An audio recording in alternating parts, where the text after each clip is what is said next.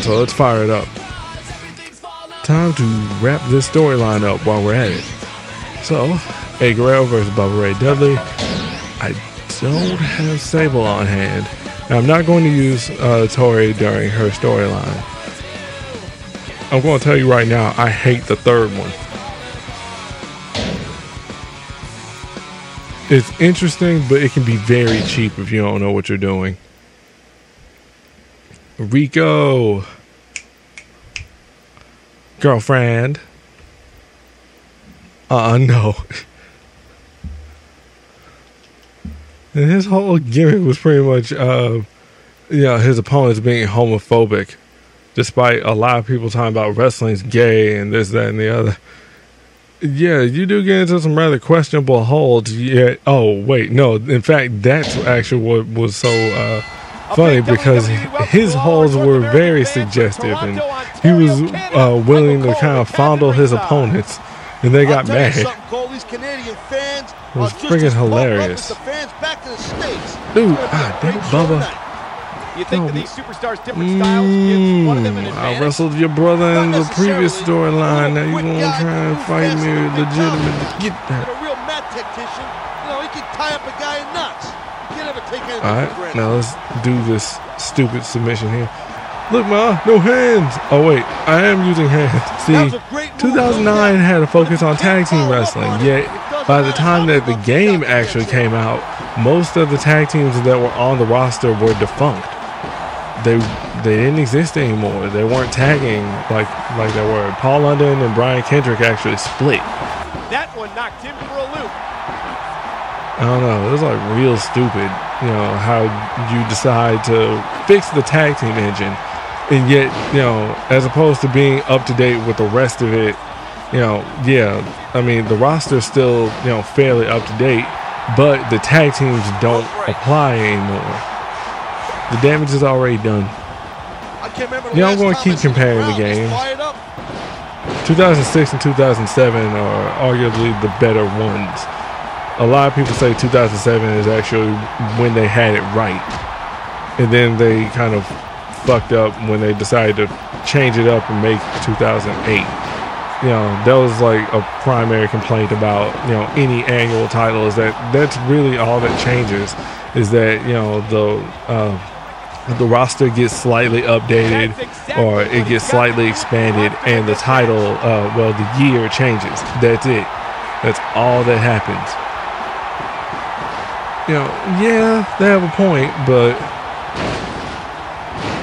you know and that's the thing you know they could have THQ could have actually tried to put more time and effort into uh, advancing what actually made the uh, the series you know fun to play.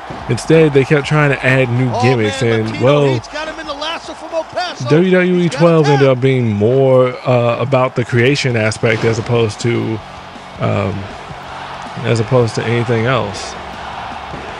You know, I mean, if you like creating wrestlers, creating arenas, creating entrances, creating finishing moves, you know, yeah, then that's for you. If you just want to have a match, then yeah, I mean, you can do that too. If you don't want to deal with Pride in the universe mode, these two great you actually can competitors. It's gotta arrange to have one-off keep 'em going. matches. He's wasting time here, Cole. He should So I appreciate that too. How did that happen? It's dickish. Yo, no matter what you try to do. I would like to apologize about the mic quality because I mean, uh, this thing ends up being Yeah, the very first episode, the microphone was all on my mouth. I don't appreciate that because you get a lot of wind noise and you know all sorts of other stuff. E's and H's. You ran right in there, you dumbass. And S's. Yes, I did finish uh, that sentence. What a match. Watch yourself. Ooh. Hey, it's ECW all over again. Go for it. Hit it. Sweet. Yeah, you didn't that one this time. Joker. It's all on me.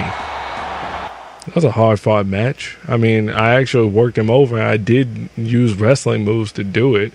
The unfortunate thing is that it wasn't back and forth. I would prefer that it's not going to be that back and forth unless it's a main event match, you know, unless it's at pay per view or, you know, a match with like a certain stipulation or something, you know?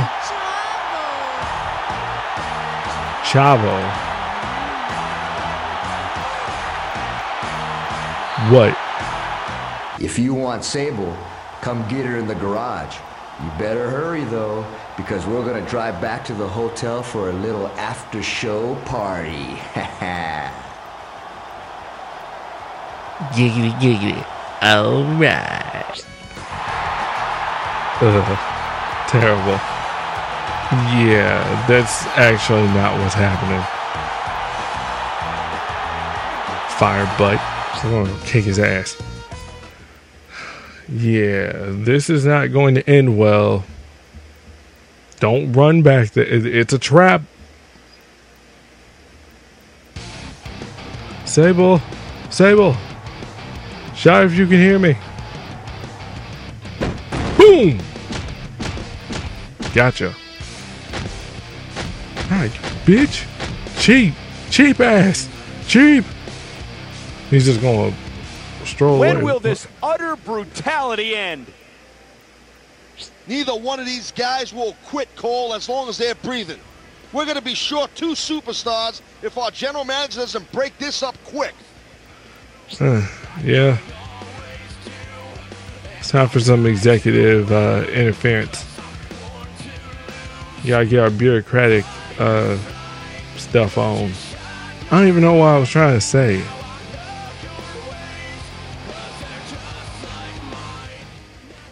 You heard me. I want him in a first blood match this Sunday at SummerSlam. If I can't beat him, it's obvious I can't protect Sable. But if I win, and I will, that sick freak won't be able to play his head games anymore. A first blood match this Sunday at SummerSlam. I'm trying to remember. I think the roles just switch uh, if you choose to be a heel. I'm telling you, Cole, if this don't settle it, nothing's gonna. It's easy for me to, to get first blood with my arsenal. So I'm fine. But just in case I don't make it, I'm going to save. It ain't cool, man. So, who shall win the heart and hand of the fair sable? Oh, please, you know damn well who's going to win this. I wouldn't call her fair either. There's a stunner on the line, and neither one of us is backing down. And it is a slugfest. Oh my god, look at him. He's just kicking him relentlessly. When will this madness end? Oh my god, DDT! DDT! Yeah, it's the kind of stupid bullshit that they put in the vignettes, and it's, it's real stupid. Interesting promo though, but this is not the main event for SummerSlam. I swear, if it is, I'm gonna be mad. We have title matches that could actually be going up. Ladies and gentlemen, welcome to SummerSlam. Michael Cole here with Taz at ringside.